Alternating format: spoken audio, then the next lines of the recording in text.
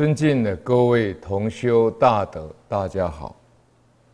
今天我们研讨《太上感应篇》第六十一句：“社会主佐，发自经期，田蟹护草，伤胎破卵。”请各位同学翻开课本五百六十八页最后一行。五百六十八页最后一行，莲池大师的这一篇。放生文呐，啊，我们啊，这个讲了，已经讲了三集了哈。这个这篇文章确实写得非常好啊。那么莲池大师呢，也是我们净土中呢啊第八祖啊，明朝呢四大高僧之一啊。那么。我们这三集里面呢，最主要是因为啊，莲池大师的放生文里面呢，有很多值得我们学习的这些圣贤，他们的慈悲放生呢，啊，值得我们学习，所以我们啊，有探讨比较详细一点。那么，呃，接下来我们看最后一行这一个字句解说呢，意。余生以吊挺，李景文啊，独解单杀啊，那这是一个公案。那么吊挺呢，就是钓鱼船啊，钓鱼船。义呢，就是交换买卖。余生呢，就是啊，幸存的性命叫余生。那么丹砂呢，就是朱砂，它是矿物的名称，是深红色的。古代道教徒用化汞炼丹，中医呢则把这个朱砂当作药用。在莲池大师的《徒说放生放水族毒解丹砂》这个公案里面呢，他只要是提到。李景文这个人，李景文呢，啊，他天性呢，很爱护动物。每次外出游山玩水，遇见渔夫捕获水族，啊，就是一医生以钓艇，就钓艇就是渔船，捕鱼的渔船。那么义呢，他就是把买买物放生，就是把渔船捕上岸的。这个物链呢，把它买下来，结果他就因为中了这个善因呢，所以他后来遇到险难的时候呢，可以消灾免难。换句话说，就得到延寿，所以才说一宜生以吊停。啊，像这种情形呢，啊，我也看过一个现代公案。啊，我们知道。在美国有一个华侨呢，叫李九兰博士，啊，他是推动素食、放生、念佛、忏悔，非常啊努力的一位菩萨，叫李九兰博士。那他曾经就讲过一个故事呢，就是加拿大的一个得了癌症的这个一个女众呢，啊，当时他就是求教于李九兰博士。李九兰博士呢，有把他的故事讲出来。那么，这位加拿大的女众得了这个癌症以后呢，本来认为会往生了，他就到他这个向往的尼泊尔去旅游，就遇到了一位密宗的一位啊喇嘛法师呢，教他说呢：“你回去加拿大以后，你努力放生。”那放多少呢？那位呢？啊，喇嘛的法师告诉他说：“你多少岁数，你就放多少条鱼，而且你要很自然而然的，啊，很这个随缘的方式去放。那么这位加拿大女众呢，就是每一次啊有渔船进港的时候，他就随他自己的能力呢，把它买下来，然后就放生，这样放到后来癌症好了，这就是这里讲的“一医生与吊停”的现代故事。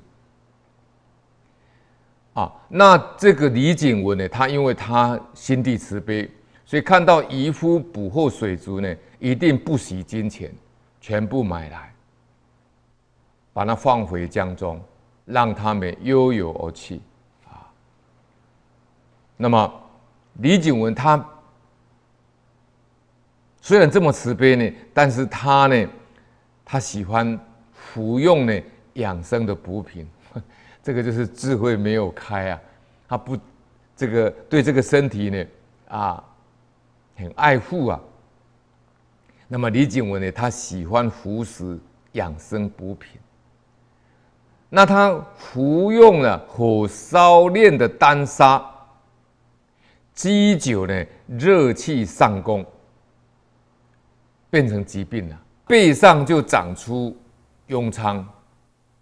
那么延请名医诊治呢，服用种种汤药都没有功效，病情非常严重。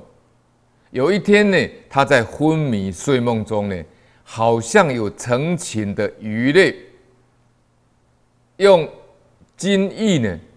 啊这个紧吃呢，他的痈疮，使他呢顿时呢感觉清凉愉快。那么第二天呢，痈疮渐渐消肿，疾病因而得到痊愈。啊，这呢跟前面我们讨论的那位除婢，啊，他呢把主人的。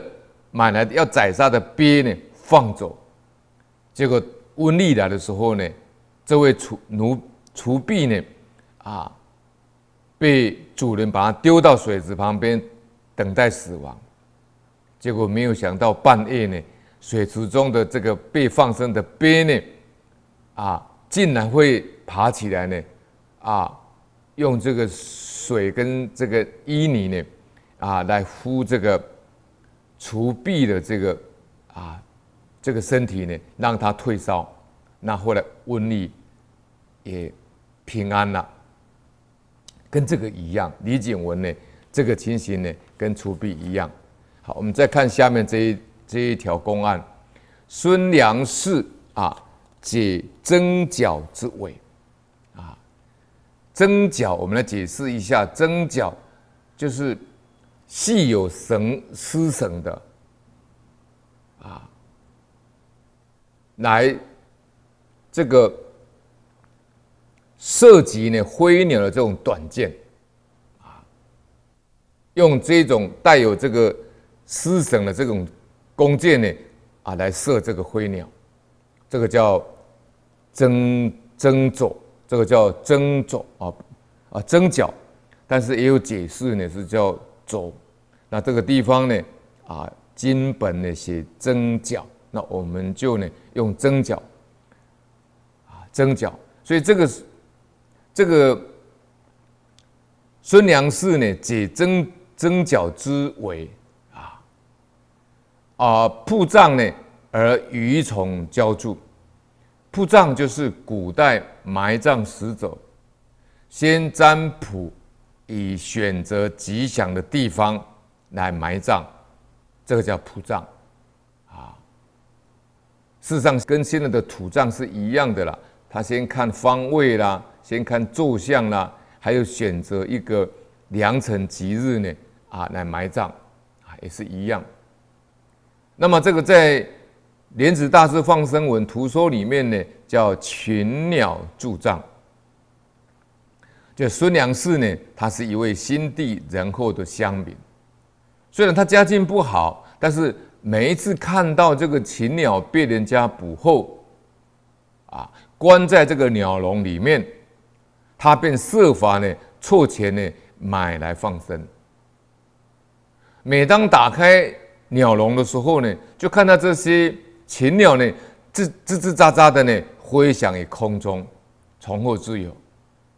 这孙良嗣呢，心中就感到万分的舒畅与快乐，啊，那后来呢，孙良嗣命中之后，啊，他的家人呢，就把他埋葬在郊外山上的一个地方，但是因为他家里贫穷，家贫无法筹办埋葬会。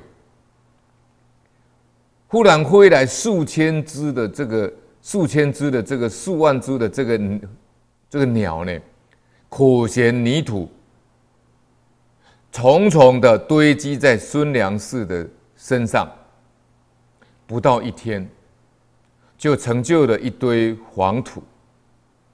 邻里乡人呢，见了这个情形以后，都非常的惊奇，感叹，大家认为是。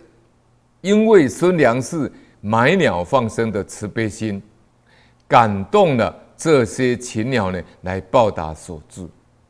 啊，这个叫孙良氏呢，啊，解征角之围呢，铺障而移虫呢，浇助。啊，这移虫呢，就是指灰鸟、禽鸟。再来，潘县令设江湖之境。弃任而随主悲好，啊，这个在《莲池大珠放生文图说》里面讲的遗嘱送行，啊，遗嘱送行。宋朝的时候，诸暨县，诸暨县在今天浙江省诸暨市，县令呢叫潘法，他是一个虔诚的佛教徒，他修习普贤忏法。他仰体上天好生之德，万物和乐之心，他在任的时候呢，他严禁地方百姓不可以入江湖，捕往一猎。若有违反禁令者，一律加以罪罚。因此呢，在潘县令在任期间呢，江湖水族呢得以无惊无扰，自由自在，啊！游肉生存于水中。后来呢，在宋遵宗的时候呢，潘县令呢奉这个皇帝的这个指令呢，他将入朝为官。那么在宋真宗景德四年的十月十号那一天的晚上，潘县令呢，他做梦呢，梦到江河中的数万条鱼类。哀嚎哭泣，说到呢，长者要离开本地，我辈不免要遭受烹杀了。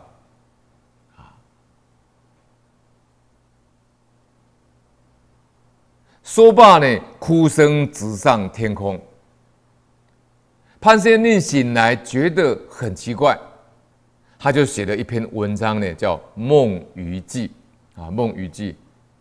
丁蜀后来接任的县令，也能保护水主。当潘县令临走的时候，江湖水中呢，忽然发生一阵很大的悲嚎的声音，好像呢失窃的宝藏，如同呢丧失父母呢一般痛切。附近的百姓呢，皆亲耳听到。大家呢无不惊奇感叹，那么市民的尊者知礼法师，他看到这种情形呢，啊，在这个当时呢，为这个梦余记作罢，啊，所以可见呢，这件事情是真的，啊。当然，这这个时候有活菩萨的加倍感应道交啊。这个潘县令真的是万物与我一体的，他真的做到这个境界了啊。他有这种悲心呢，把这些鱼呢，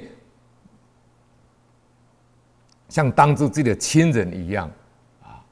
所以市民尊者呢，就为这个梦一记作罢呢，说在市民尊者。教行录里面卷一，而且编入藏经呢，在大正藏四十六册，啊，所以这个就是啊潘县令涉江湖之境呢，去任哦水煮悲好的一个感应故事。再来，信老免渔民之声，降服甘雨，这个就是指道信禅师呢为乡民呢祈雨的故事啊。因为乡民用拜三三生呐，拜这个这个杀生，用杀生呢来祈求上天降降雨啊。那么道信大师呢，我们来介绍一下这位在中国禅宗。第四组呢是非常非常重要的一位禅师呢，我们来特别介绍他一下啊。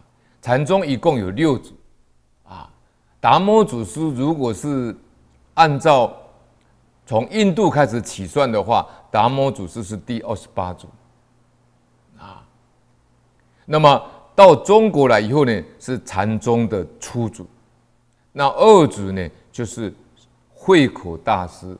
就是神光法师啊，断臂求法的神光法师啊。那么三祖呢，叫增灿大师，增灿大师。那四祖就是道心大师。那五五祖呢，就是弘忍大师。那六祖呢，就是慧能大师。这六位大师影响中国的禅宗呢，乃至于其他各宗，影响非常的深远。啊，因为达摩祖师说呢，啊，一花开五叶呢，就到六祖的时候就不再传了，啊，就不再传衣钵了。那我们来介绍道信法师。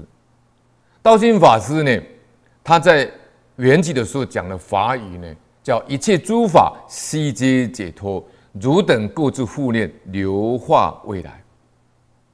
啊，一切诸法悉皆解脱的意思是说，因为我们自信呢本质清净，所以呢一切法都是佛法，啊，一切诸法悉皆解脱。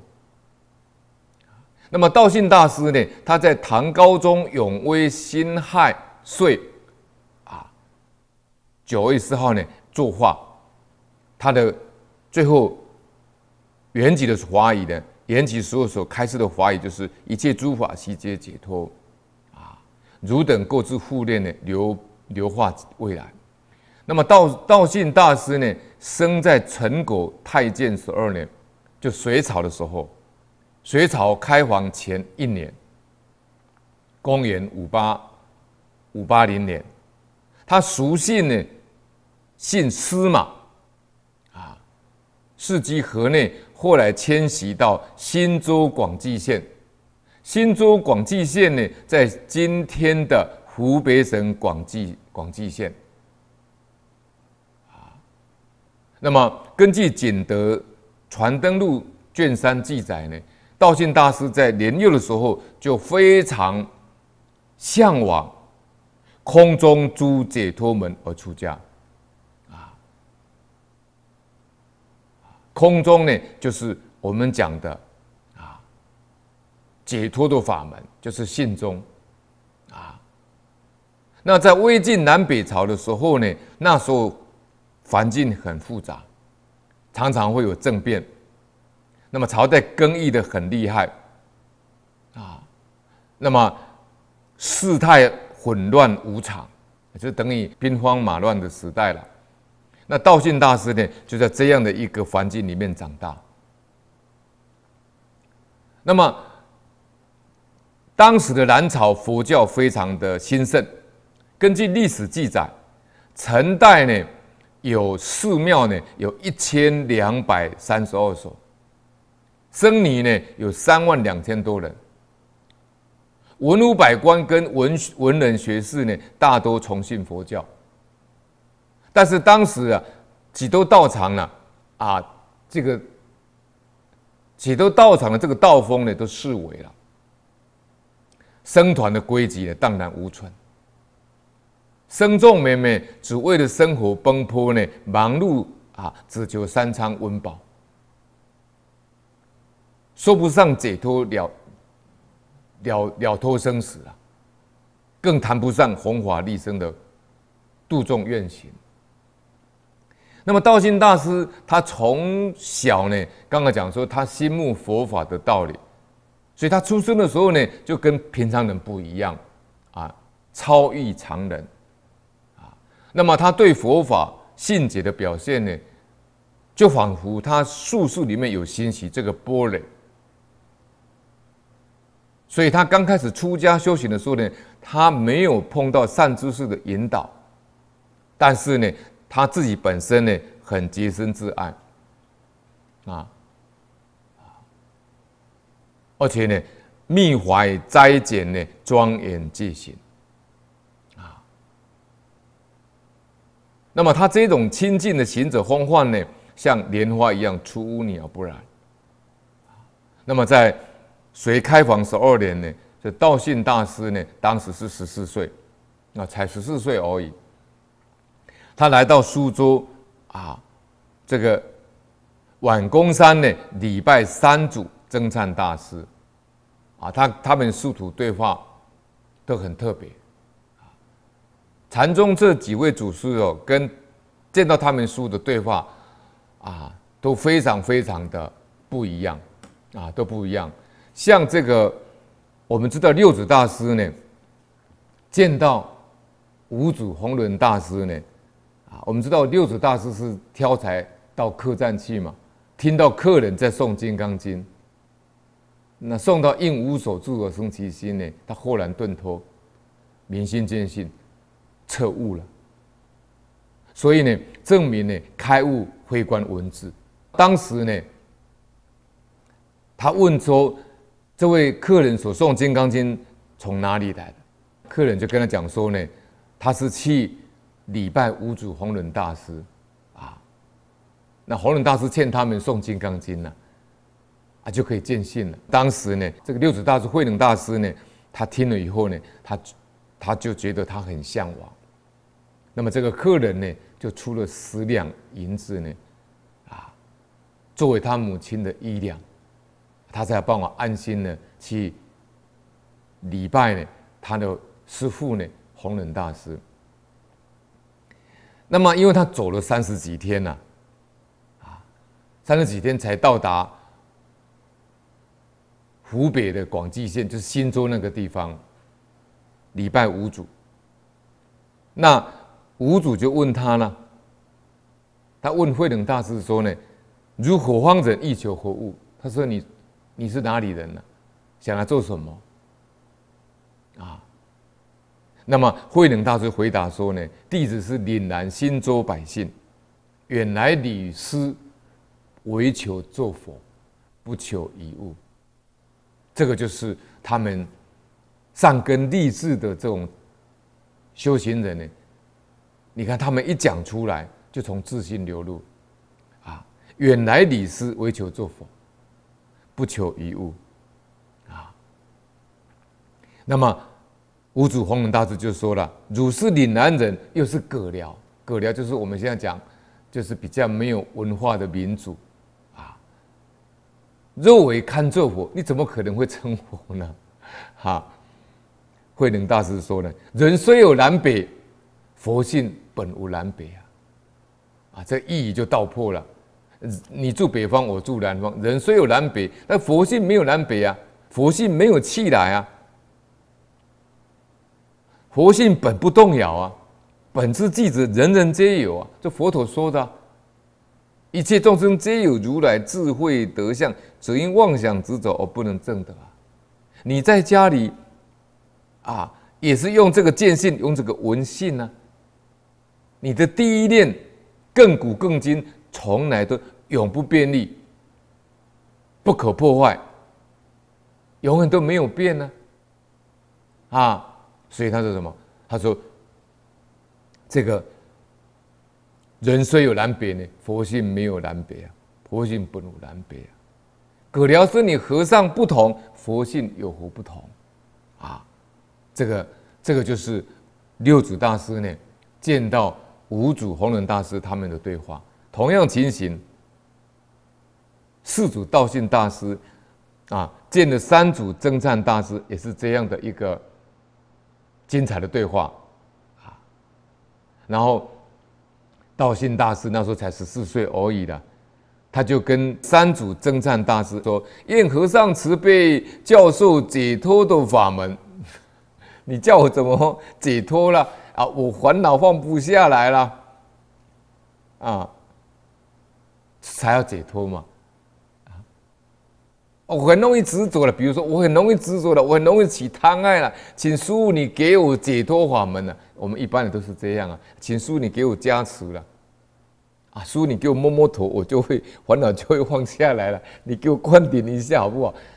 很多人都这样啊，他相信叔给他摸头才会感应呢，才会才会把执着放下来啊。几乎啊，我看到很多年友都这样，所以我常常在笑说呢，啊，比如说现在年轻人都喜欢向往啊，日本的歌星啊，影星啊。或者韩国的歌星影星啊，这邪火里邪火人里面也有，我们讲的这追星子啊啊啊！你看他这个蔡李系老师啊，到哪都被包围啊啊！啊，净空法师到哪里的话，都是人山人海啊！好，这就是什么？跟这个道信大师见到三祖正善大师一样，请师傅给我解脱法门呐！三祖就说了。什什么绑绑缚你啊？就是谁绑你呀？你说你很痛苦，你很烦恼，那谁让你痛苦烦恼了？这意思是一样啊。是什么绑护你啊？谁绑你啊？道信大师回答说：“嗯，没有人绑我啊，没有人绑护我啊。可是没有人绑我，对啊。心生者种种法生，心灭者种种法灭，一切法心想生。”你升起嫉妒心，那嗔心就嗔心就生出来了，啊，怨恨心就生出来了，遇到逆境就起嗔恨心，遇到遇到顺境就起贪爱心，自己不能做主。那三祖正善大师说：“那那么何必要更求解脱呢？” 既然没有人帮你，那何必还求一个解脱法门？因为你想要一个解脱法门，就是心外求法。我们说呢，法外无心呢，心外无法。所以佛法呢是内点，是向内求，不是向外求。啊，你只要放下执着，菩提就现出来了。我们现在是真妄合合。那妄呢，就是阿赖耶识；真呢，就是如来藏。现在还没有开悟前，是真妄合合。第一念都是真如其用，但是第二念就变成阿赖耶了，毛病习气就出来了。啊，所以呢，这个宿主道信大师呢，就见了三祖正善大师呢，这样一个精彩对话。那么，在三祖几句话的启发之下呢，道信大师豁然大悟，十四岁而已，啊！所以你要自己给自己解脱法门，你自己放下执着，就是自己给自己解脱法门。什么解脱？你的心解脱了，那么从此呢，他就随侍在三祖的左右呢，成。四成的三祖的道风啊，那么专注的修行，而且呢，他是不倒单的，邪不自喜六十年。邪不自息就是他是不倒单的，跟广清老和尚一样，不躺下去睡觉的。那么这种邪不自息的人，都有很深的禅定啊。三祖呢，屡次加以勘验。他要勘验到底，世祖道信大师也没有也没有开悟啊。他知道道信大师呢根气因缘已经成熟了，便传一传一波给他。那么传一波的时候呢，就说了一首偈语古来祖师呢传一波都会说一句法语。生山大师说：“花种虽因地，从地种花生。若无人下种，花地尽无声。”啊啊，这个禅宗的法语呢，境界非常的高。我们还没有开悟呢，我们没有办法呢去解释这个祖师的这种开悟记。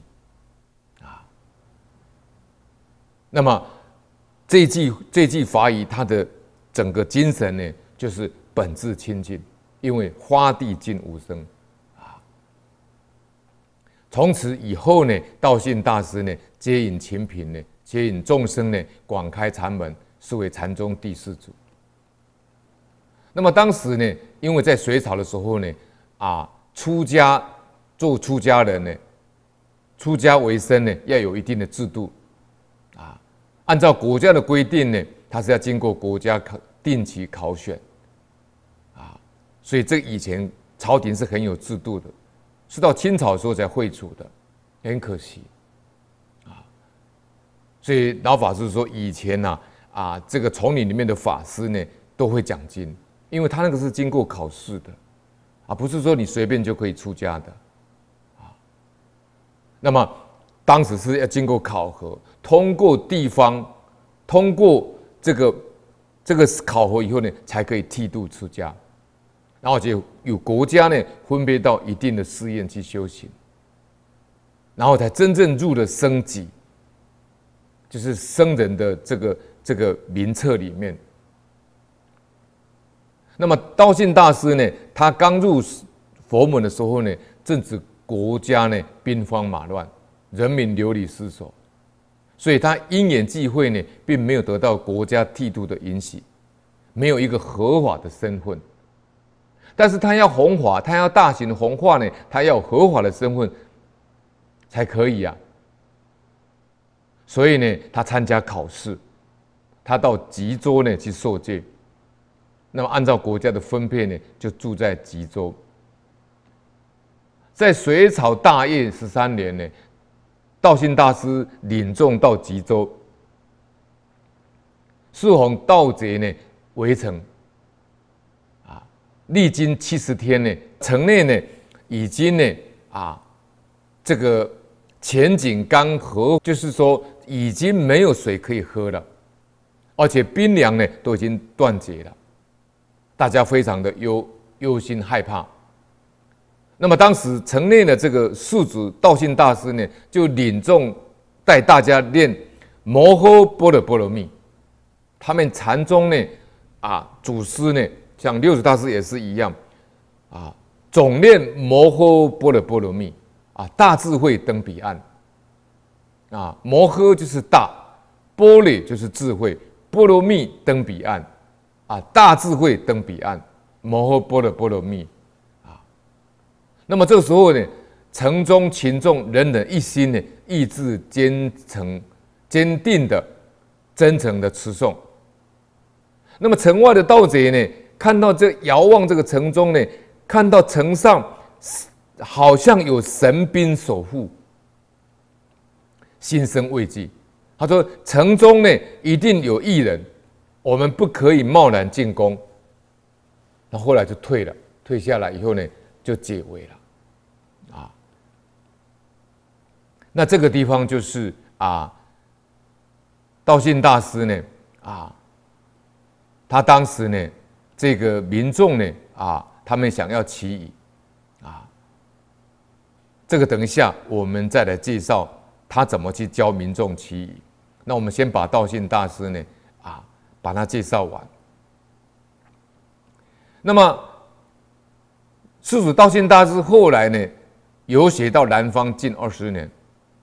他也接触到三论宗，还有天台宗跟啊这个跟这些呢，能够呢啊融合无碍。在唐武德七年，他返回新州，住在破陀山。破陀山就是在新州黄梅县双峰山。他住在黄梅县的路上呢，遇到一个小孩，这个就是五祖出现了，啊，五祖出现了，弘忍大师出现，弘忍大师碰到他的师傅的时候也是小孩，道信大师碰到他的师傅的时候是十四岁，啊，十四岁那时候就问他师傅给他解脱法门了，那这个呢，五祖弘忍大师也是很特别。他见到这个道信大师呢，道信大师观察这个小孩子的骨相特别跟人家不一样，很奇秀，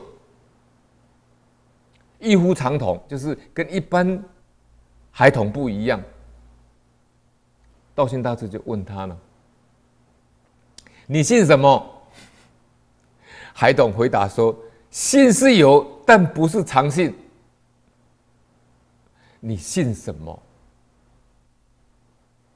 这个是禅宗啊，有时候就是一语双关呐。你姓什么？小孩子回答说：“姓是有，但不是常姓。”他马上领悟说：“我本有自信，我自信是佛，我不是平常这边姓黄啦、姓张啦、姓李啊，但不是常姓。”姓是有，啊，宿主就问了：“是什么姓？”回答说：“是佛性。姓名的姓跟自信的信，当然这个在正体字是不同，啊，一个是你字旁，啊，一个是就心字旁，啊，这个信。那宿主又问呢：“你没有姓？”你没有信吗？就是你你你俗家没有信吗？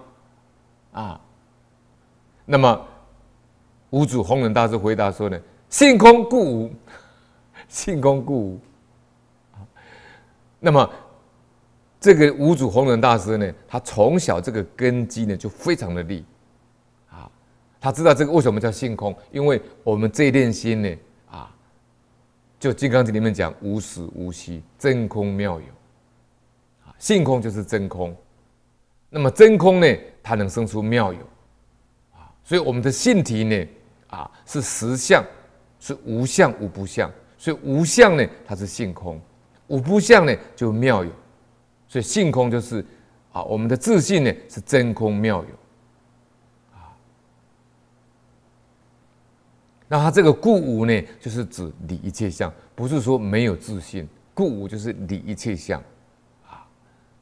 那么素子呢，漠视这个孩童是个法器，而且他跟他叔叔有因缘，便收为弟子。最后护法传衣给他，就是传衣钵给他。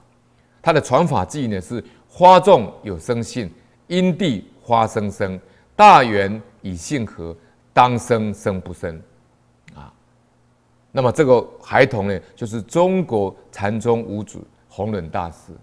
啊，那么当时。道信大师住在双峰山的时候呢，啊，弘扬禅法的时候呢，来向他求法的学学人呢很多，生理如云。那么大师都能够随机度化，为四众弟子呢啊解诸迷津，无有疲厌。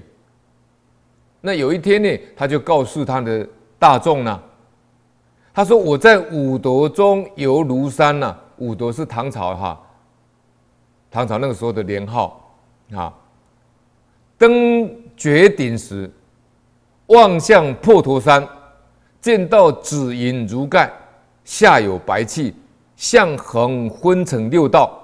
你们知道代表了什么吗？古代这些德行很高的修行人，他们都不是普通人物啊。你说世俗的这一种啊。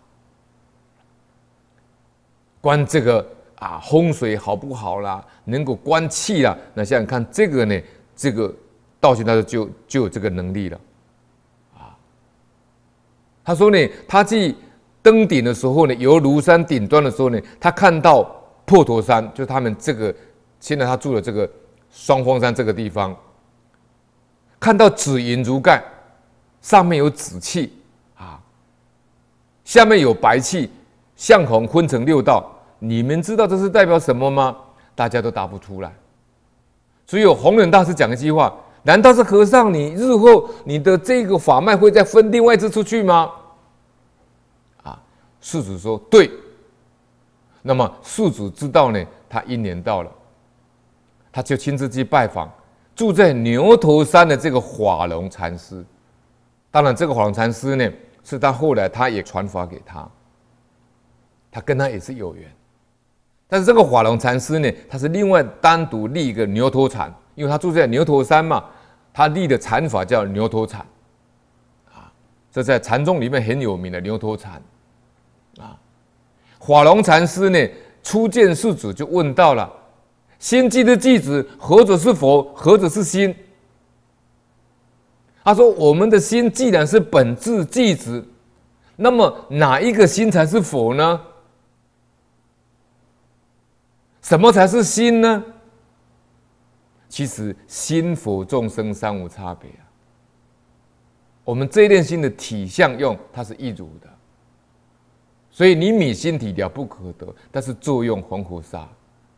你在问当下这个心，什么是心的时候，什么是佛的时候，其实它本来就是佛。假名为心，方便全说，就是说这是心。这是真如心，这是清净心，其实它本来就是佛，它不可思不可议的，它超情离见的。所以禅宗里面讲叫离心意识三，离心意识参。你在想说这是什么心的时候，它已经是污染了啊。所以华龙禅师问世子就这样问了：心即是寂子，佛者是佛，佛者是心。世主说：“灰心不问佛，问佛灰灰不心。灰心就是空啊！你既然能够悟入的话，就不需要再问佛在哪里。你现在当下就清清楚楚、明明白白，那就是佛啊！你如如不动，不起一相，你那个见闻觉知起之后，那个就是佛啊！既然你在找佛呢？这个就是灰心不问佛。”问佛灰不心呢？你要问佛在哪里？当下这个心体就是呢？还问说这是什么心呢？问佛会不心呢？法龙禅师说的：“既不喜做观行，以尽其实，如何对治呢？”因为那是这个直下会起的，在禅宗里面，他们开悟的这一个。大修行人呢，他都是直下会起的，啊，就是我们大师菩萨念佛圆通章里面讲，不假方便自得性开。道心大师就跟跟华龙禅师讲说呢，我受真忏大师的顿教法门，我今天付诸一如，啊，那么你呢要信受我的叮咛叮嘱，主至楚山，日后有五人。传承你的法要，有五人会传你的法，弘化一方。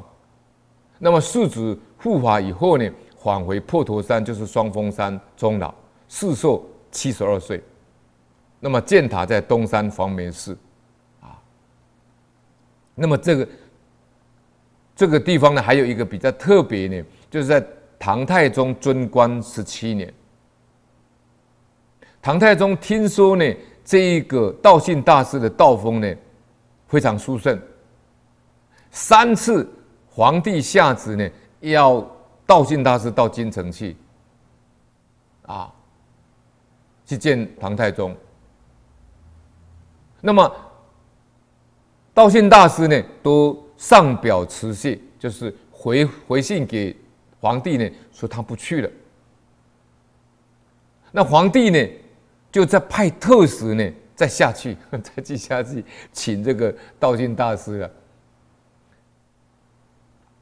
他们古代这些皇帝呢，都很有智慧，都会亲近这个大善之士，啊，亲近这些圣贤，而且会邀请呢接受供养，然后为他说法，啊。那因为道信大师不去了，那皇帝就再派特使。然后传话给道心大师说：“为若不起，命其所及。你如果不来的话，就砍你的头，命其所及呀。”结果那个特使一到啊，使孙景就任，那就那个道信道就把头伸出来说：“那你要砍头，你就砍头啊。”孙孙景就任呢，神寿俨然，他这个这个。神兽就是他的脸色了，俨然就是非常亲近自在，没有任何恐惧啊忧愁，啊，这是已经证悟的人，他就是不一样，生死自在，啊，没有恐怖颠倒。那么那个特使就觉得很特别，他说：“哎呀，这个法师这不怕死的呢，啊，死者易之呢。”还入座，就回朝廷呢，把这个情形啊奏给皇帝知道，跟那个永明延寿大师一样啊。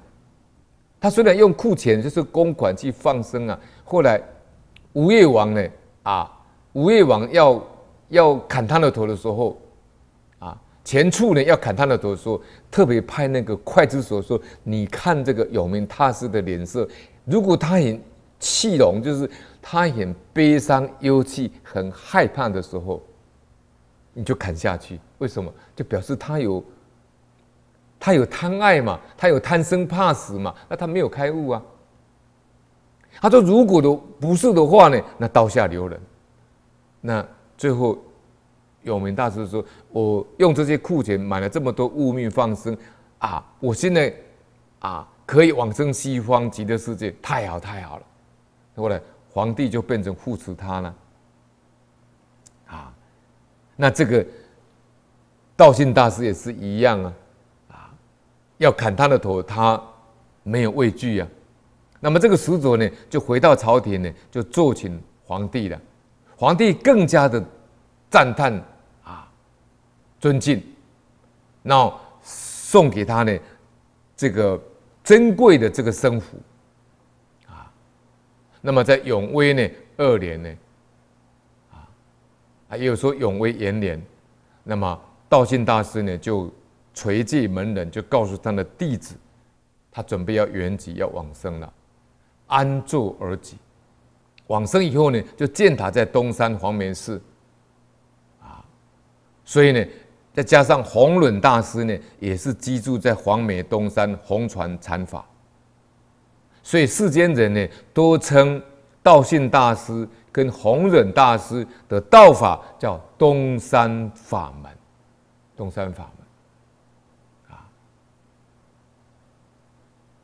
那么道信大师也可以讲东山法门的初祖，啊。那破陀山后来改成双峰山，啊，世人称大师叫双峰道信。那么在大历呢年中呢，啊，唐代中呢，在追封他为大一禅师，那么他本身呢写的著作里面呢，叫《入道安心要方便法门》，还有《菩萨戒做法》等书，这是特别在这边呢介绍道信大师。我们再看下面这个公案：信老免移民之生，啊。降伏干预，就是在莲池大师放生图说信师气生导神这个公案里面啊所写的。有一次刚好碰到旱灾荒年，五谷不生，人民呢啊面临饥荒，惶恐不安，纷纷议论呢要宰杀啊牲畜。要祭天，请求呢降雨。那么道心大师看到人民呢这样一次的做法，深深怜悯，于是对众人说了：“你杀害牲畜，祈求降雨，是背逆天理、残暴的愚昧行为。上天有好生之德，你们这样的做法，不但求不到雨，反而造罪，会招来灾殃。”你们若能够释放牲畜不杀，我自当为大家祈雨。”人民听了以后，觉得很有道理，都愿照大师的话释放这些牲畜，不杀生祭祀。于是呢，大师便摆香坛，精诚祈祷，甘于呢，果然立刻下降，啊，人民兴高采烈，啊。那么当时呢，道信大师呢，他怎么带他们去祈雨呢？他率众还有僧侣呢，一面念楞且经，啊，念楞且经。跟波璃金啊，一方面上太平山啊啊，采这些苦菜跟米集啊。那么他叫这些民众呢，一方面祈雨，二方面呢，其实道信大师也蛮科学的啊，很符合科学哦。他叫民众啊上横冈山呢去采苦菜跟米秸下来。啊而且他还叫这些百姓呢砍柴晒干，点火燃烧，使烟雾呢弥漫在天空中，就好像我们现在讲的造人造雨。它迫使冷空气呢下降，一个星期以后呢大雨倾盆，百姓称奇，感念世主。你看，他也用他的真诚心，不杀牲畜，祈求上天慈悲呢下甘露。同时，他又教百姓呢，把砍柴的树呢晒干以后，然后点火燃烧，让烟雾弥漫天空，迫使冷空气下降。一个星期以后下大雨。这些呢，修行呢境界非常高的这个祖师呢，都有这个能力。当时莲池大师也是这样，也是闹干旱，那县令呢也是没有办法，这个啊，因为。这个干旱太久了，民众民不聊生。那么县令呢，就是祈求莲池大师。莲池大师说：“我不会祈雨呀，啊，我只会念佛啊。”那县令说：“那你就念佛，带着我们念佛啊。”那莲池大师就拿个木椅啊，敲呢，阿弥陀佛，阿弥陀佛。走在这个田埂间呢，他走到哪里，雨下到哪里。啊，这龙王都是拥护这些呢有修有正的。啊明心见性，见性成佛，这些啊大菩萨啊，这个是啊免移民之身呢啊降伏干预啊。再来，我们看下面这个潮汐呢所猎人诸王道波神州啊，这个潮汐呢是指六祖慧能大师他的别号，因为六祖大师在南华寺嘛。韶州府潮汐呢？啊，当时呢，他在府城的东南。那么，在粮草的时候，粮食呢有天主的国僧，有印度的这些国僧呢，自西来呢换泊潮汐口。当时到中国来说呢，这印度的高僧呢，乘船乘到这个潮汐的这个河口，闻到异香，啊。然后就讲一句话了，他说：“上流呢必有圣地，那在这个潮汐的上方呢，应该有一个很特别的地方，上流必有圣地，就循溪而上，就找找这个这个口水源口。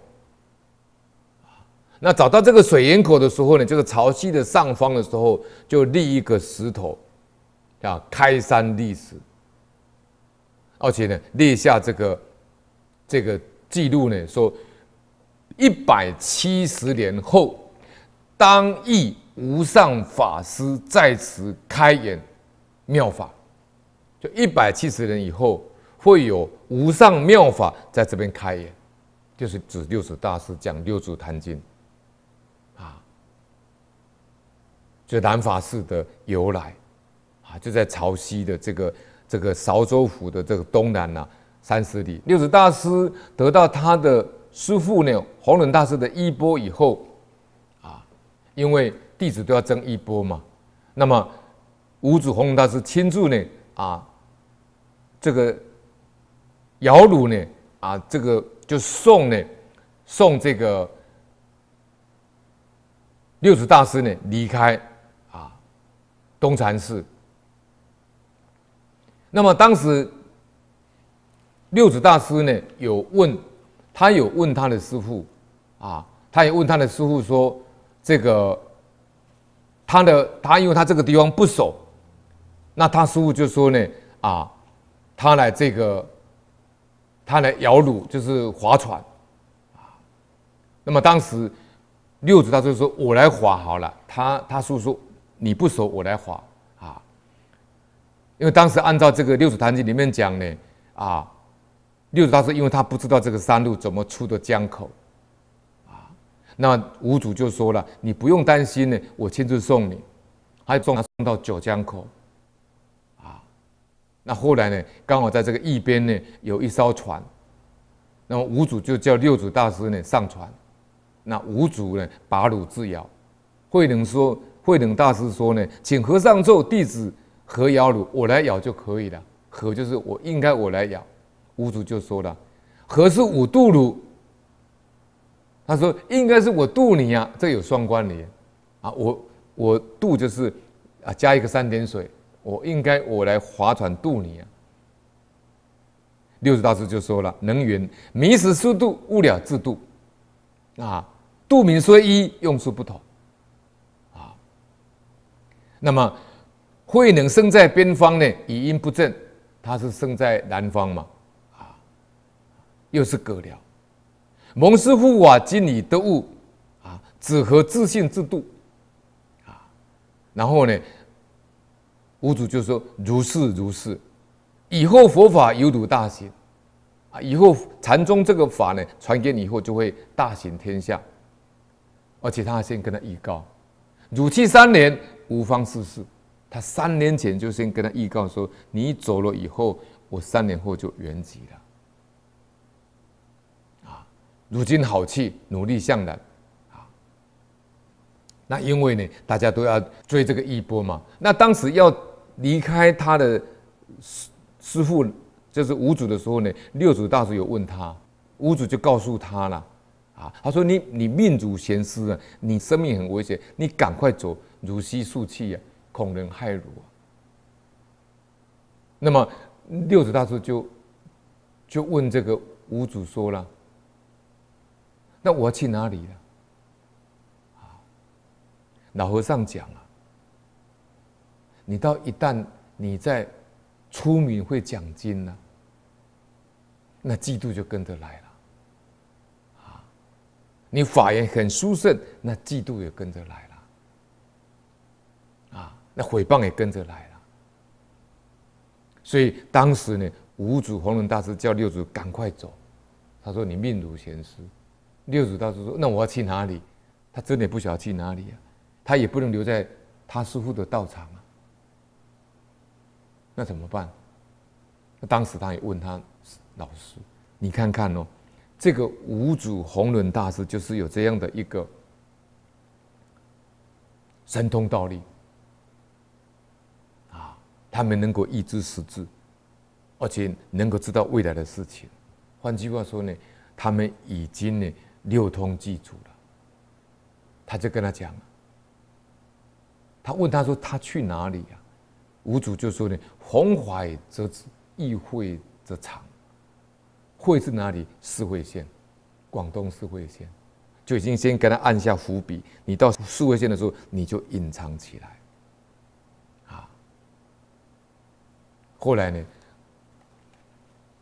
这里讲的这个猎人堆呢，就是在四会县。啊，他就在四会县呢。后来经文上讲呢，是十五载。”十五载在四会县的避避难猎人队中呢，时以猎人随意说法，猎人猎人这些猎人队的呢，叫他守住这些猎物。那六祖呢，都利用机会呢，把一些活物放了放生了，啊，所以这个地方就是放生文里面解的是所网啊，所猎人之网，道波神州啊。啊六祖既配黄美心印呢，那时候还没出家嘛，啊，隐姓埋名的呢在猎人堆里面，猎人叫他锁网，六祖大师呢就把一些脏吐的这些物类呢就能够放了，就把它放了，总共呢在那边待了十五年，后来呢做潮汐道场广度清贫，登分五宗。五宗呢，就是临济宗，啊，还有这个曹洞宗，啊，维养宗，啊。等等，这个就是啊讲六祖大师呢，啊，也是他的放生的一个啊。一个 当时在猎人队里面十五年的修持哈。那我们再看下面这一个，这一切解贤缓报恩。啊切解贤缓报恩呢？这个是相传在东汉杨宝，杨宝九岁的时候，他到华阴山的山北，看见一只黄雀呢，啊，被那个鸱枭，鸱枭就是猫头鹰，所追逐，啊，就吊在树下。杨宝呢，就把这个黄雀呢，啊，抱起来以后带回家。而且把它放在这个这个毛巾箱中呢，给它喂黄花。经过百余天以后，这个黄雀呢就羽毛长成了，乃飞走。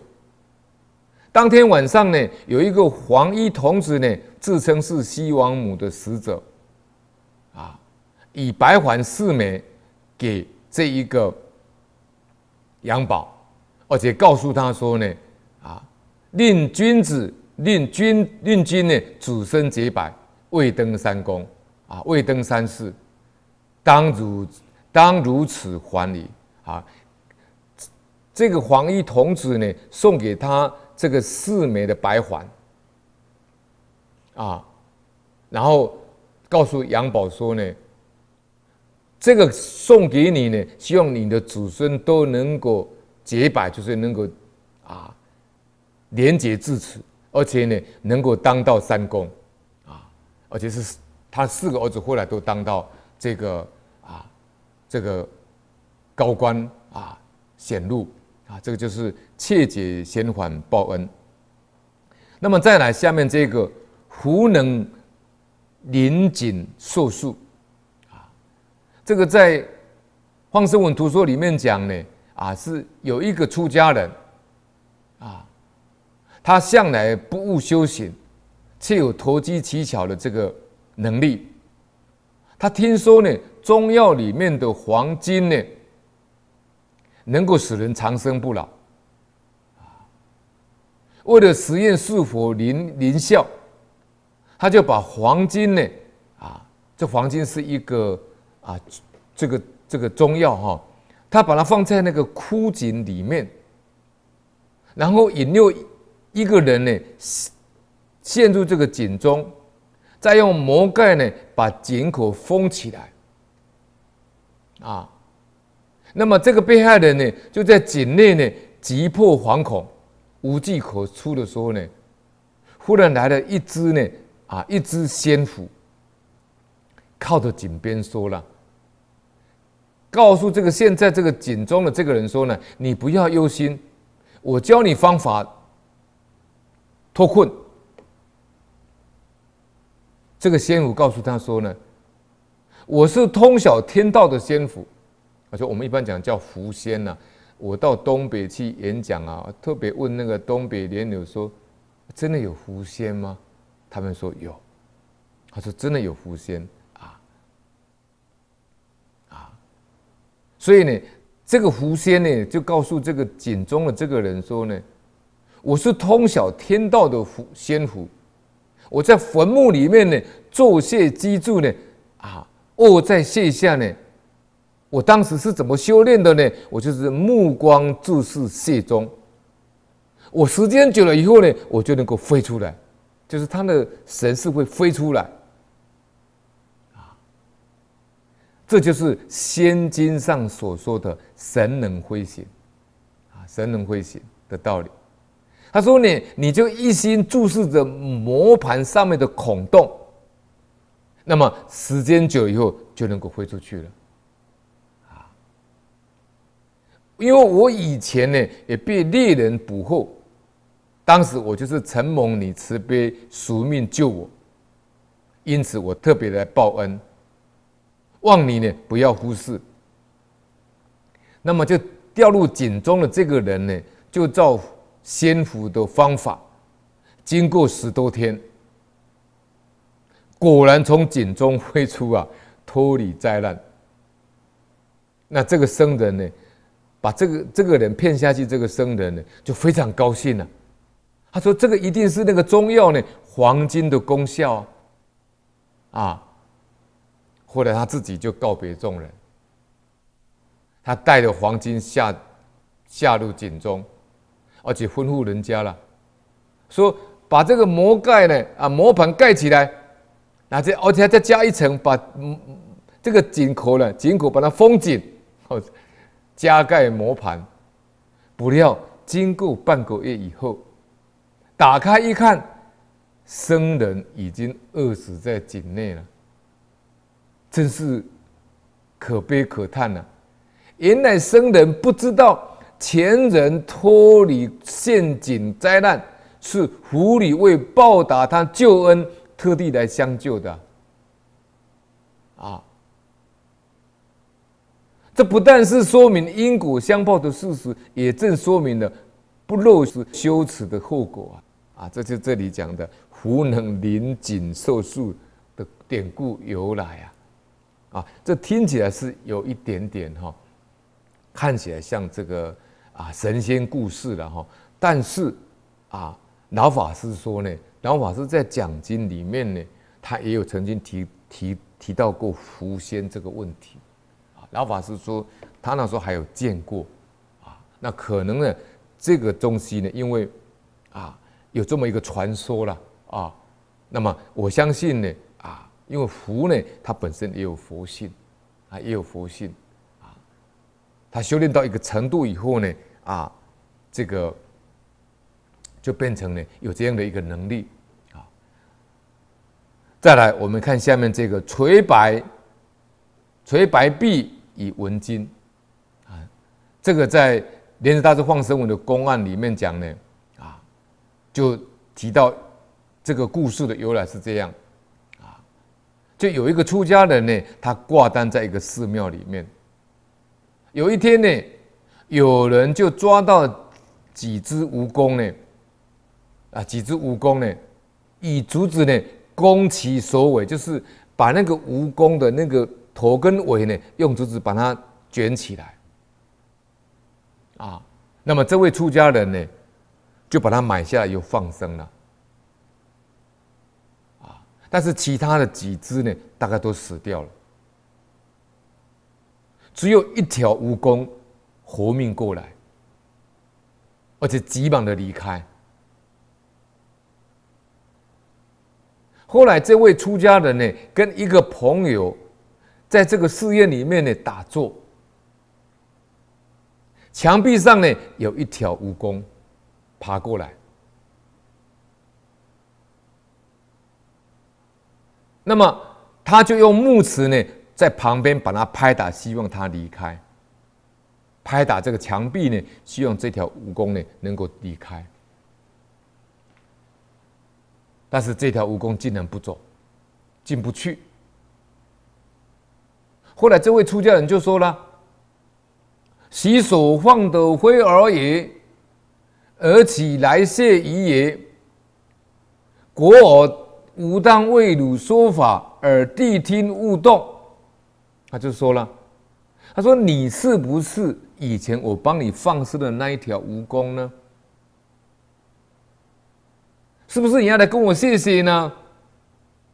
如果是的话，我为你说法，你好好注意听，谛听就是摄耳谛听，摄心谛听，你好好你好好听。那么这个出家人就跟他说了，乃告之曰。”一切有情为心所造，心狠者化为虎狼，心毒者化为蛇蝎。尔处独心，此行可脱也。这位出家人很会开示啊，啊，他说一切有情众生唯心所造，心狠者化为虎狼，你心狠舍大了，你就投生到虎狼这个物类了，这动物了。心毒者化为蛇蝎，就成为毒蛇跟这个毒蝎了。你只要除掉这个毒心，而除毒心，此心可脱，你就可以脱离这一个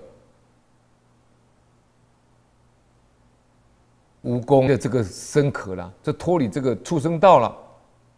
言必令气。结果他这位法师开示完了以后。不待七足，徐喜出窗外，他听进去了，不用再赶他呢。这一只蜈蚣就离开了，慢慢的爬出去了。那么有人在做呢，他的旁朋友在旁边陪同呢，惊叹稀有啊！就在当时隆庆四年，把这件事情记载下来。这个跟前一阵子啊，有一个朋友呢，传一个网络的这个。信息给我，也就是有一只乌龟呢，啊，遇到人家跟他开示，那个跟他开示讲的道理跟这个出家人跟这个蜈蚣讲的道理很像，一切有情唯心所造，啊，那么就跟这只乌龟呢念佛跟开示佛法，这乌龟很有善根呢，他一听到开示的时候，他头就扬起来，抬起来。讲到他为什么会堕落为畜生的时候呢？这个乌龟好像听懂了，在流下眼泪。那个拍的人呢也很特别，就真的拍到下他流眼泪了。啊，这个就是物类都有这个灵性哈。好，再来看下面这个难地求生现黄衣而入梦。啊，这个在图说里面呢是善以起命。在明神宗万历九年，杭州府啊，这边有个民众呢，叫于氏，但莲池大师注解说呢是干氏，啊啊，有一个于氏的这个邻居呢，遭遇到盗劫抢劫，那于是呢，他有个出嫁的女儿，听到这个消息，特地回娘家为母亲问安。顺便送了十几条的善梨做礼物，于是呢，就将这个善梨呢储养在家中的水瓮里面，但是他忘记了。有一天晚上，这个于是就做梦，梦到十几个穿黄衣服、戴尖帽子的人，长跪在他面前，苦苦哀求救命。醒来，心中觉得很奇怪。不能释怀，就请一个人来卜卦算卦，这个吉凶，这个术士呢就告诉他了，这算命先就告诉他了。他说：“你家中应该有生灵求你放生啊。”于是回家找遍室内，只有发现水瓮中有善鱼呀，而且算一算呢，刚好十几条，刚好十尾。刚好十条，大为惊奇啊！他心想：善女为了求生，竟然现黄衣人而入我梦境，可见呢，一类也有灵性啊。于是呢，立刻把这些善女呢，就带往河里放生了。就是这里讲的难地求生呢，现黄衣而入梦。啊，再来，我们看真。这个真呢，就是啊，是非无争。这个真呢，就是 证明啊，正验啊。简编呢，简编就是书籍。招呼耳目，招呢就是明白。再来，兼不兼财。这个兼不兼财，不兼财什么意思呢？在放生文里面注解上解释。财不坚者，为水得漂，火得混，官得起，道得解，为脆无常，会兼物。我们说财家财金金钱呢，财物呢是五家共有。这里面呢，他提了四个：还少掉一个，就是不孝子。他说财不坚固呢，啊，水灾来，火灾来，还有个战争啊，水灾、火灾、战争呢，还有官官府来征收呢，官府来扣税呢，官得起。再来强盗可以来抢劫呀，还有不孝子了，不孝子来败家呢，就委脆无常，所以叫不坚固，它不是坚固的，不是坚固的东西。坚持作福，所谓以不坚财易坚财。你用这个不坚固的钱财去布施呢，得来的功德法财才是坚固的。法财才是坚固的功德法财，所以坚财呢是我们的智慧德相，那是我们带得走的，别人抢不走的。那么世间的财物呢，别人抢都走，你也带不走，所以它是不坚固、不坚固之财啊。只有智慧，只有功德，才是坚财啊。别人抢不走，你自己可以带得走的。啊这个是啊不兼财的意思。那《放生文》里面的注解说呢：若无财者，只发慈悲心，亦是福德；或劝他人放生，或见人放生，赞叹随喜，增其善念，也是福德。这就是修随喜功德。你没有钱财放生，你发一个慈悲心，也是福德。这个慈悲心也是福德。或者你劝人家放生。或者你看到人家放生，赞叹随喜，增加你的善念，这也是福德啊！这些行方便事，持满人还，人还就是人间人世啊！再来明通天府啊，明通天府，这个放生文里面的注解说呢，天王以六斋日。巡守人间，有善必知，无恶不察。啊，又人行十善则天圣，人行十恶则修罗圣。如果人世人能够行十善，啊，我们知道修罗常常会跟天天神啊，呃，修罗好战嘛，常常跟天人战争嘛。那你世间人行十善呢？那上天呢？上天人呢？上天呢？啊，天圣！如果你行十恶呢，那就是修罗圣。故天地呢，时时希望世人行善，一人为善，挥天神，挥天神王，报答天经。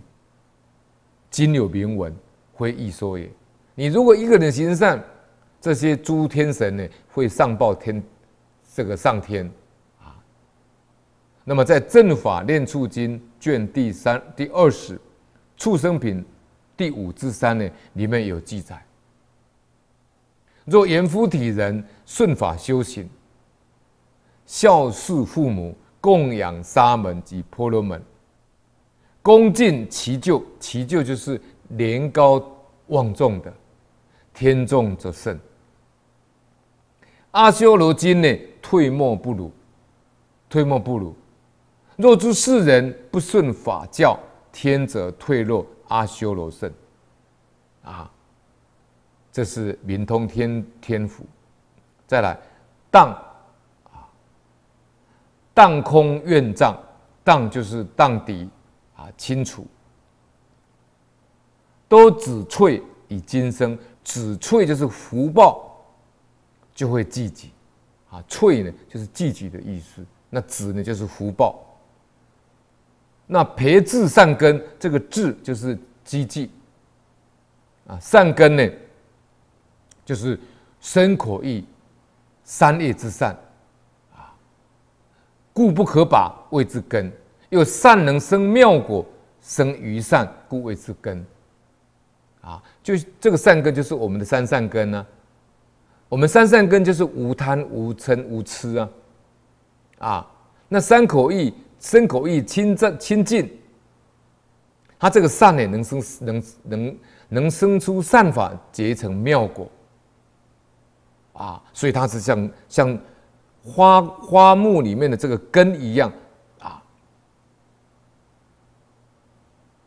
这个是善根的意思。一庆，一庆呢？那么在放生文里面讲说呢，以此善根当来之事，长寿永福，乃至成佛，万类有情请心归附，皆一庆的。一一庆就是就是一福啊。再来回向，为其回向西方啊。那么回向里面呢，它有很多种啊。那么也有一般的之说回向的啦，还有慧眼大师大圣一章的回向有三种。我们这边特别提呢，慧眼大师大圣一章里面的三种回向。第一个菩提回向，回向自己所修的这些善法，以祈求菩提的一种一种一切种德，这叫菩提回向。那第二个呢，众生回向，令众生呢。回己所修一切善法，愿以以他啊回向给一切众生，叫众生回向。第三个实际回向，以这个善根呢回向平等如实法性，就回向自信啊，这菩提回向、众生回向、实际回向。那华严经呢，它里面呢列十种回向，成观呢列十种回向之名。而总结为三种：第一个菩提回向就是回因向果；众生回向就是回自向他；实际回向就是回事向理。我们一般都是用这三个：回因向果、回自向他、回事向理。那我们净土呢，就是回向西方极乐世界。那么莲池大师的回向比较特别，我们把它练一下。莲莲池大师在放生住院里面。他有写一个回向文，这个我们可以来参考莲池大师这个放生文啊，这个回向文。莲池大师说，你放生完毕以后，啊，我们如果有去参加放生呢，那我怎么回向呢？我们要怎么回向呢？莲池大师教你，放生已就是放生完毕以后，对佛像前自心礼拜，先向佛像前礼佛三拜。博言，博言就是你说出来，哎，在活菩萨面前这样说出来。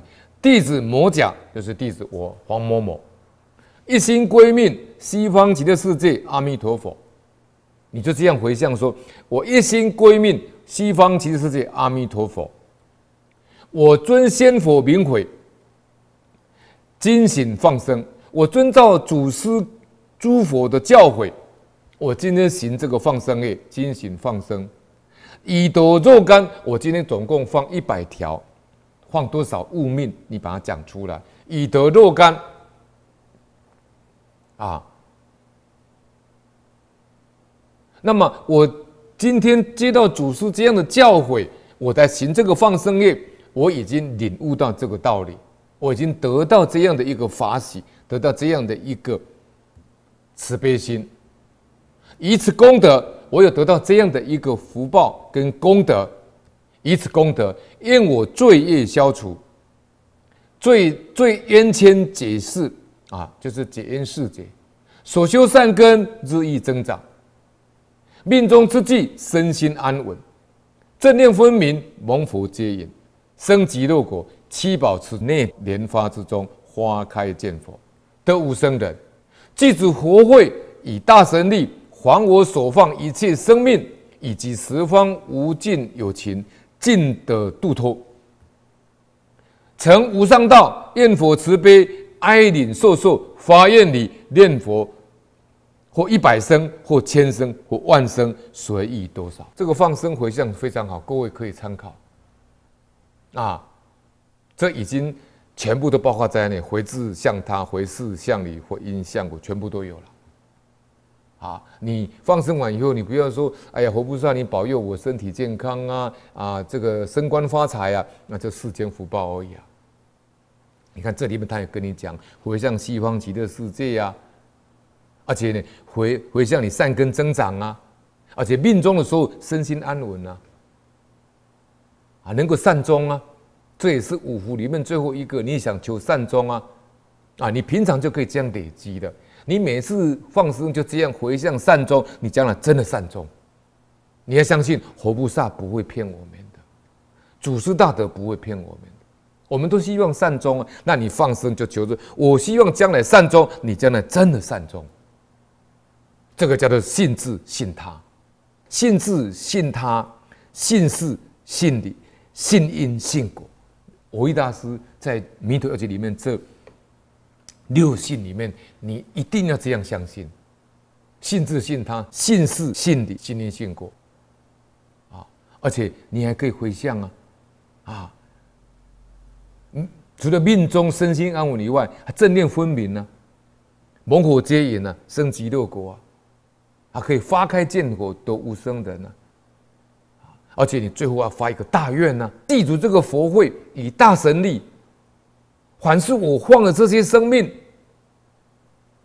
以及十方无尽的有情众生，都可以得到度脱。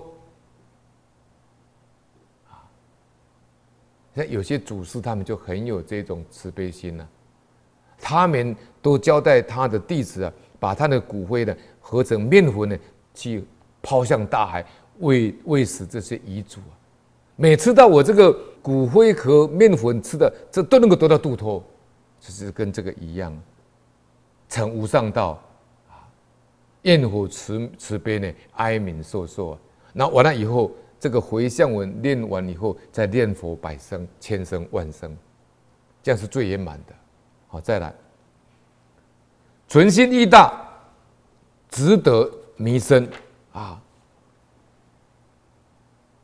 如果你放生了，你所存的善心，义大就是大菩提心，义大就是啊放生得福，你要世间的福报也有，啊，要出世的德也有，啊，这个就是存心义大呢，值得弥生，道业之之速成，啊，道业之速成呢，这个放生文里面讲呢。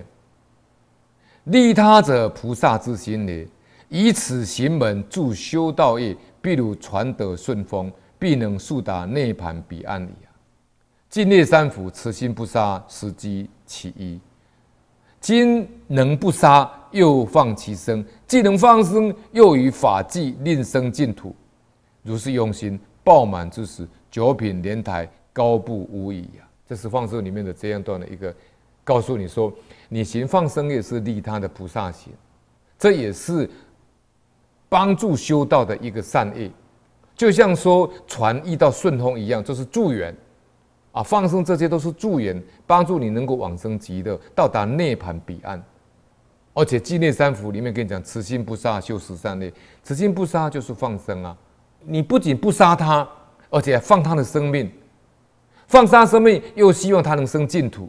你这样的用心，爆满之时，就是九品莲台，高不无疑啊。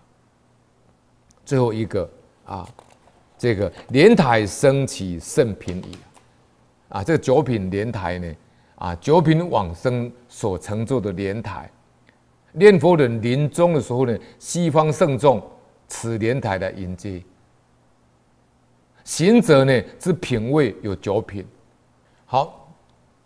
接下来，我们来解释这一段莲池大师放生文的白话解说。明朝莲池大师放生文里面说了，在这个世上、世界上啊，在这个世间呐，最被重视的是生命，而天下间呢，最悲惨的事情是杀伤。所以呢，遇到要被捕捉。就奔跑，事故逢请则崩，就是所有一些蠢动寒灵都是贪生怕死的，所以遇到人家要捕捉他的时候呢，他就奔跑，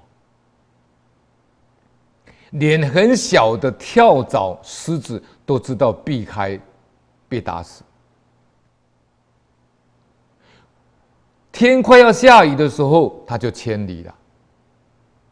就连小蚂蚁尚且贪生怕死，人类怎么可以在山上设网罗捕鸟呢？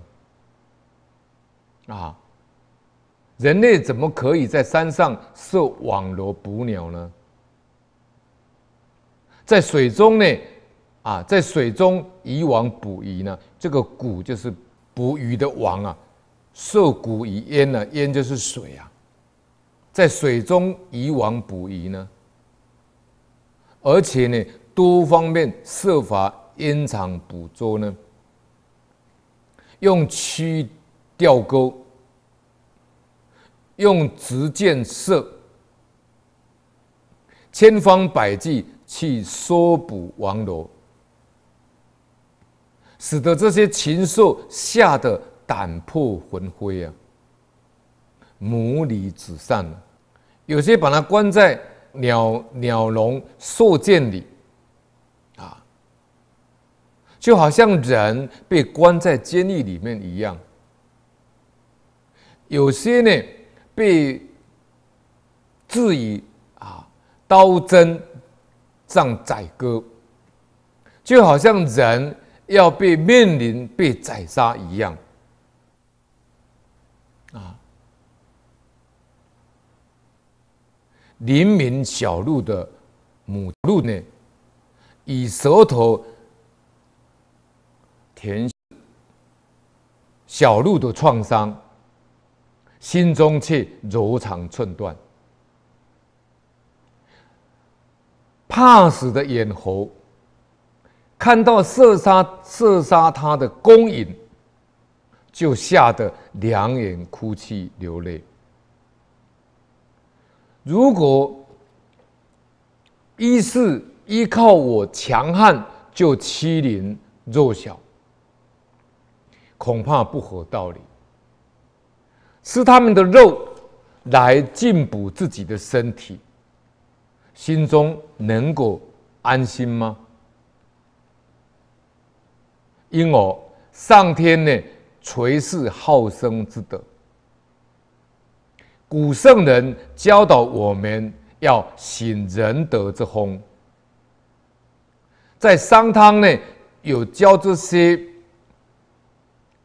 猎人呢要网开三面的教训，只留一面。使禽鸟呢可以逃生。春秋时代的郑国，子产呢有养鱼的美行，人家送给他鱼类嘛，他就把它拿到他们家中的这个池塘放生了。流水长车子，真是圣人呐！为了挽救干旱的水池中的鱼虾生命。以大象用皮囊运水倒入池中救这些鱼虾，啊！释迦佛真是慈悲啊！为了免除鸽子被老鹰绝食的厄运，割切割自己的肉来喂鹰喂老鹰。天台中的智者大师开凿放生。支持让人放生。大树仙人以禅坐入定，保护怀中的小鸟栖息，等鸟飞走才出定。宋朝延寿禅师出家前任酷吏，以库钱买鱼虾水煮放生，临行不惧。获得皇帝赦免无罪，其仁德犹存于后人心中。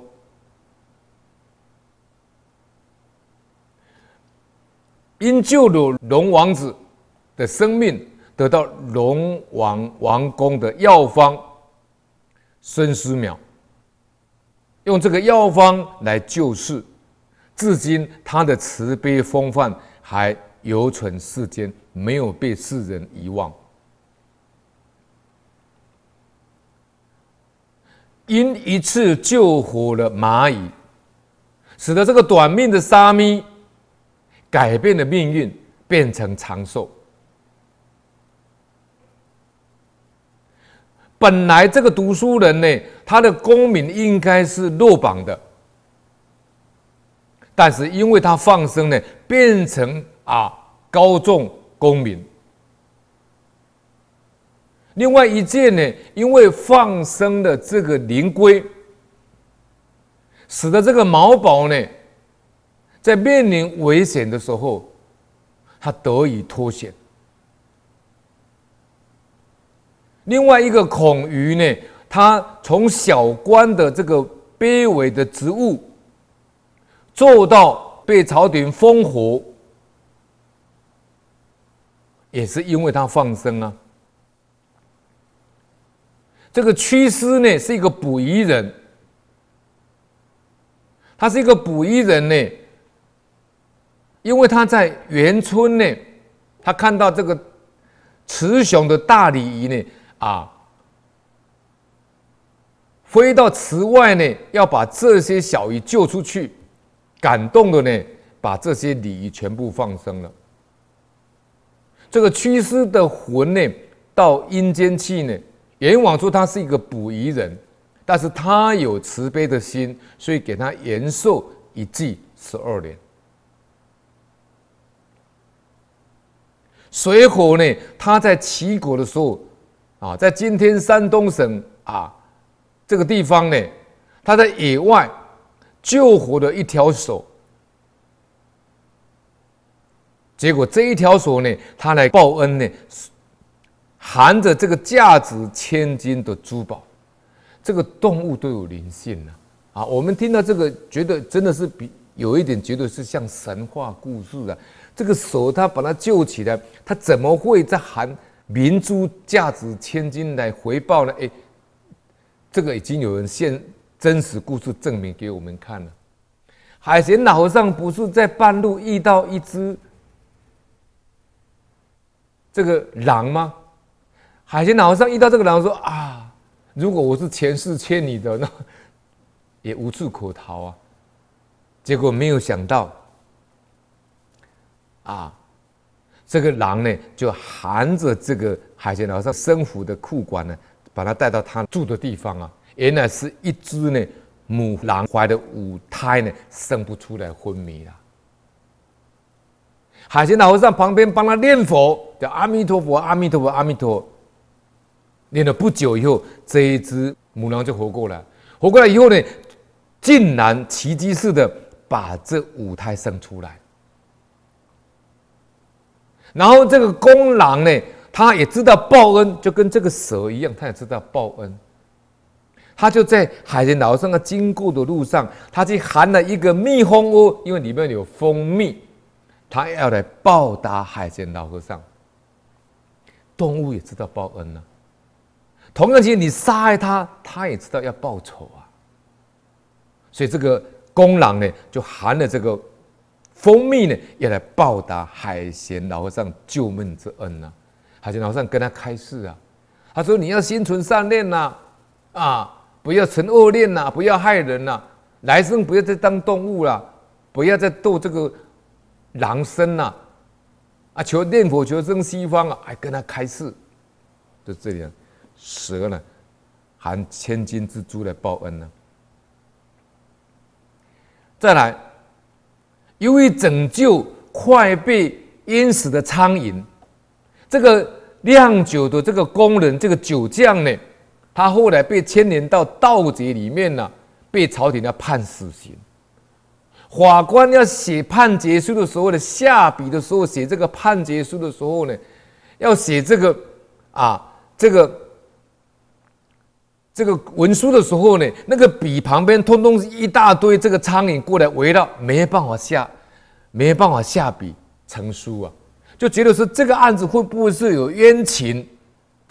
在详细调查，终于证明这个酒匠是是被冤枉的，把他释放了，连这个苍蝇也会来报恩呐，啊！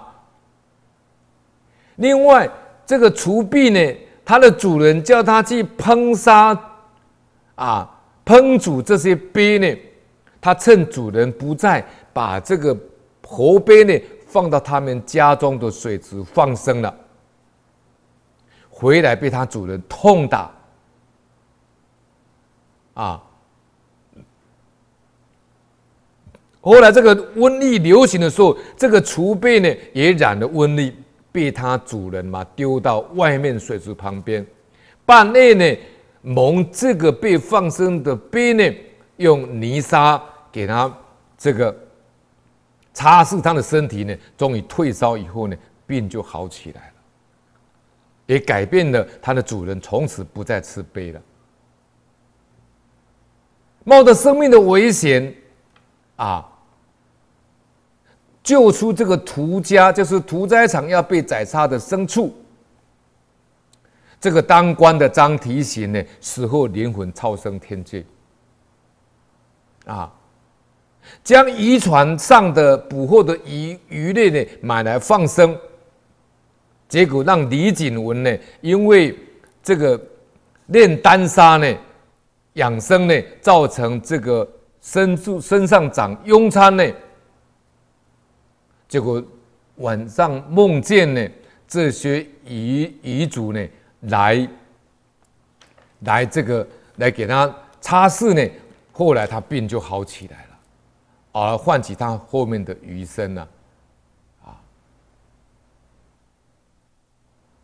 另外孙良氏呢，因为解开被捕获的鸟类。让他没有钱埋葬的时候，这些被救的鸟通通含着泥土呢，啊，过来在他下葬的地方呢，都来帮助，让他能够埋葬。潘县令呢，他在当这个县令的时候，他严禁民众呢在江湖旁边啊，这个这个网捕鱼类。后来他离离开的时候呢。这些水主悲好，啊，水主都哭泣了，再来道信大师呢，又为了免除一面的百姓宰杀牲畜来祭天祈雨，这个陋习，所以呢，他就教民众呢，啊，不要不要杀杀生，啊，那么道信大师为他们祈雨而得到甘露。慧能大师在猎人堆待了十五年，把猎人捕捉的一些物类放生。六大师后来禅宗这个法门呢，弘扬到整个全神州，就是中国，啊，道波神州，啊，